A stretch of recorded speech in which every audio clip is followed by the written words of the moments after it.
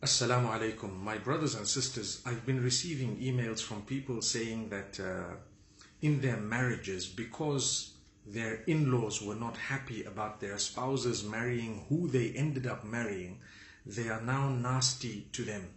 So, a sister, for example, says, You know, my mother in law never ever wanted my husband to marry me. And many people have actually sent me this type of an email. My husband has married me, but my mother-in-law or my father-in-law or someone in the family did not want me to be married to them. So as a result, they are horrible to me. That's one thing. Secondly, they say that in some cases, as a result, astaghfirullah, they visit uh, witch doctors to do some magic or to do something, some form of a dirty deed in order to break that marriage or so that they don't have kids or so that they are trapped in some form of a, a spell. Now, I'd like to tackle this from both angles. Number one, your children choose their spouses, and sometimes it will not be according to your taste because you married already. They have a different taste. How many of us love these juices or foodstuffs or so many different things or the weather or outdoor or, or, destination that our children do not love. They don't even like it. They can't even stand it sometimes. Similarly, your choice of a wife may not be the same as your child's choice of a wife or a husband. So you need to make sure that you leave them with that and you are happy for them. Be happy for your children. Make it easy for them. Make dua for them. Pray for them. Don't go into a marriage thinking that, you know what, this, uh, sorry, don't allow that marriage or let it happen thinking that I'm going to fix them.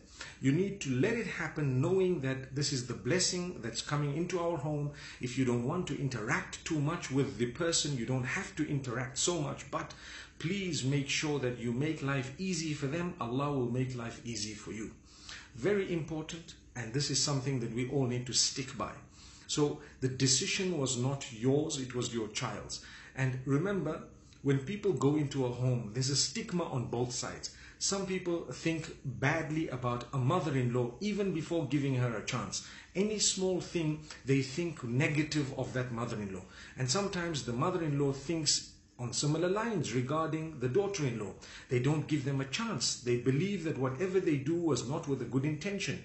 They stick to their child such that anything the wife says to the son uh, they feel that perhaps the wife is trying to separate them from the son, uh, from their own son, which is not true. You know, this is a disorder. This is like a syndrome that some people face or some people have. They feel that they're going to be separated. It's a phobia of the separation. You're not going to be separated, number one. Number two is there has to be a little bit of a distance thereafter because that's a child that is independence. When the child was born you decided everything for the child. As the child grew up allah took away your decision making little by little. Such so much so that at a certain age the child wouldn't want to play with toys that you have chosen for the child but rather the child would want a different type of a toy based on its liking and would make a tantrum if it didn't get what it wanted so there comes a stage when bit by bit Allah takes away this authority and then the child becomes a parent or a husband or a wife uh, in his or her own right. You cannot then decide to have that control and be upset with who they married. Give them a chance. If the two of them are happy, what makes you unhappy? Why are you unhappy? To see the happiness of your child. That is a disease. It's a disease that is, shows a weakness in faith as well. You need to be happy for others. And if it's your children, you need to be even happier. If they're happy, something makes them happy, so what? Alhamdulillah, be happy for them. May Allah subhanahu wa ta'ala make it easy for us. So, number one, you need to uh, understand that you must support their choice of a spouse if it is permissible. If the person has reasonable level of character and deen, you support that choice of a spouse. And even if they're making a mistake, sometimes if you've tried your best to convince them and they are simply not being convinced, I would say still support them in that little mistake and have them with you rather than lose them completely. And we've mentioned this before. And if they were to come back divorced, we still love them. They're still our kids. Yes, they made a mistake. They didn't listen to us. It doesn't mean we disassociate or cut them off. But we will still support them if they were to come back. May Allah not let that happen. But in some cases, it has. They're not a burden. They're actually a part of the destiny that Allah chose for us and for them. Thereafter, when they do get married, help them, support them, give them that independence. That's something that's absolutely important. Don't be, don't make all decisions for them. Guide them if you need, but don't make life difficult for any one of them. The fact that they didn't marry your sister's or brother's child, you know, that's the culture in a lot of cases with the Indo-Paks as well as with the Arabs and so on. You go, you marry your cousin or you marry a relative or you marry someone close by and the parents already have this dream and this understanding. We need to marry a wealthy guy who's already earning, he owns already so much. And so yet they, when they were married, they didn't have even a tenth of what they want their son-in-law to, to be having. So that's a disaster. We start off with nothing. The Quran says, "In yakunu fuqara yughnihimullahu min fadlihi." Even if they're poor, Allah will bless them with lots of, uh, you know, blessings and the sustenance through His own virtue. Allah will give them. They wanted to do halal, you supported the halal. I know of many parents, they will delay uh, they'll say, okay, fine, this guy is okay, but I need to delay it because he doesn't have a job, he hasn't graduated, he hasn't. So they facilitate adultery. And I'm telling you, they facilitate with knowingly or unknowingly.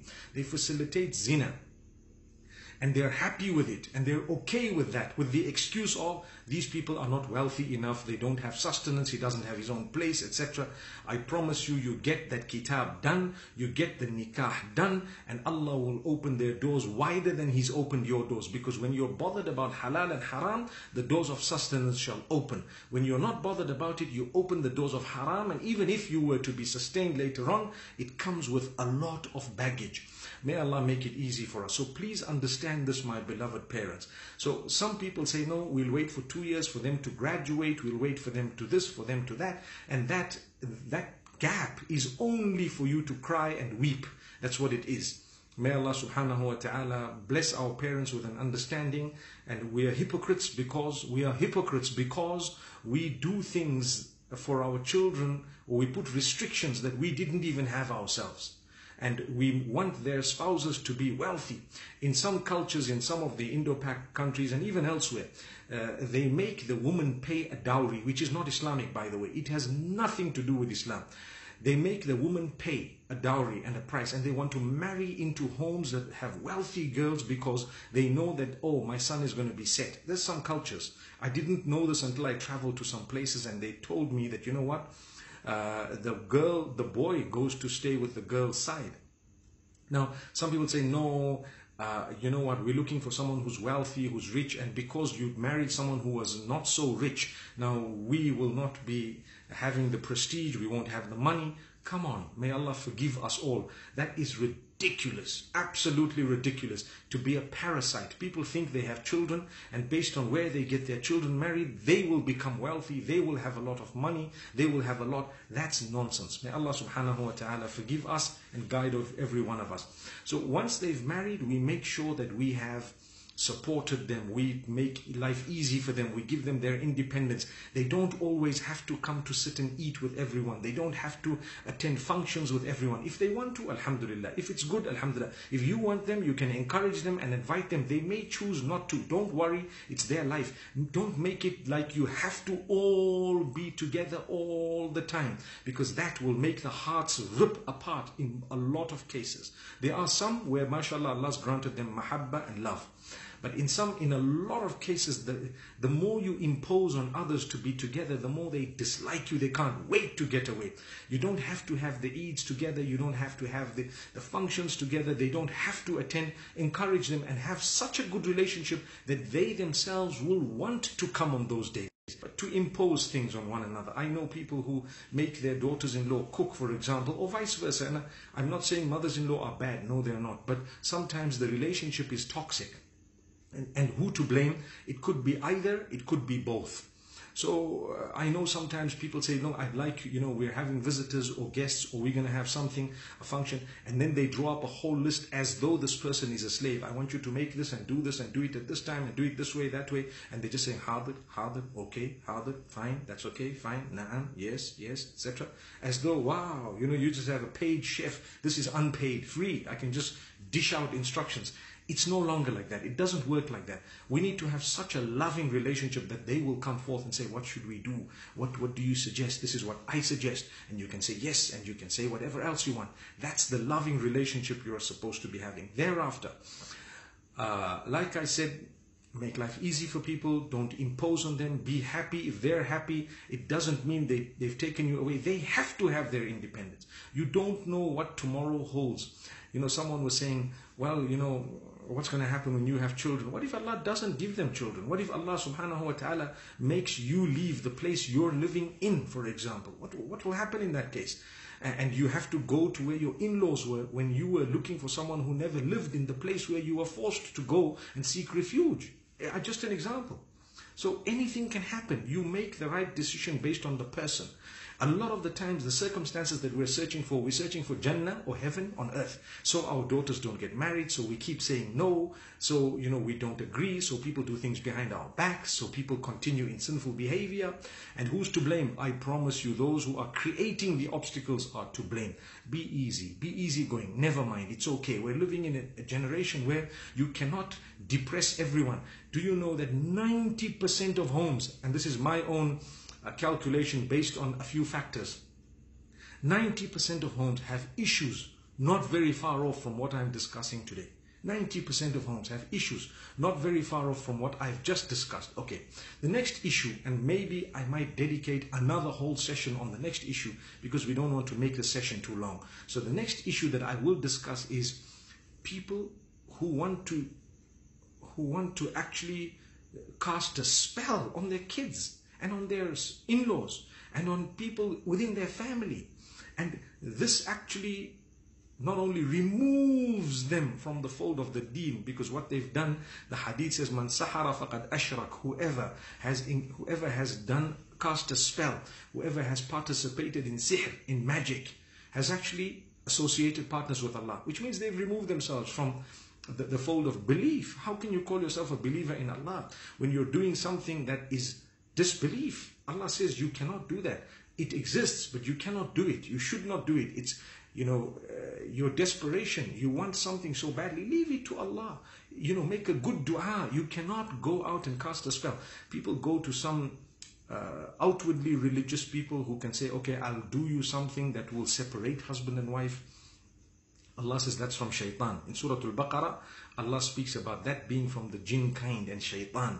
يَتَعَلَّمُونَ مِنْهُمَا مَا يُفَرِّقُونَ بِهِ بَيْنَ الْمَرْءِ وَزَوْجِهِ Long verses where Allah speaks about Sulaiman alayhi salam's time and Harut and Marut and the others and so on and how the, the, the, the teachings of evil were there to separate husband from wife and, and to create disaster.